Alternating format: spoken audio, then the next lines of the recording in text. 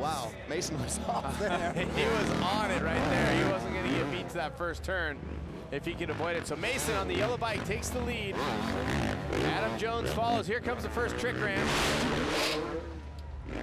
I'll Mason mixing it up, the no-handed flip. Yeah, and big clean tricks from both riders there. And, and I think they actually moto together at home, so I think there's a lot of confidence in each other. But Washed out there in the corner. You saw the back wheel break away, so that's why he dropped so far back.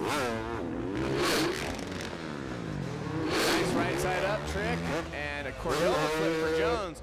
One thing it looks like to me with Mason is that he changed up his trick maybe because he wanted to get off the off axis, which might slow him down a little bit.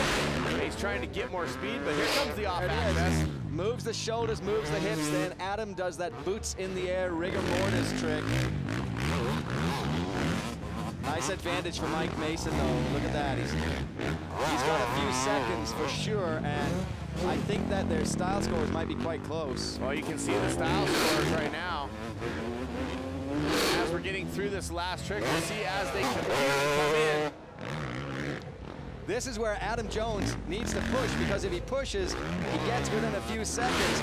But I think he's going to leave it sitting on the table here because he's so far back.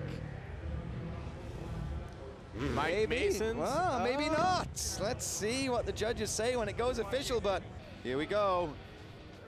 Is it going to be a medal for Adam Jones? No. No. Mason ends up with the medal after the judges compute and go over it. Mike Mason with the advantage. Wow. Wow.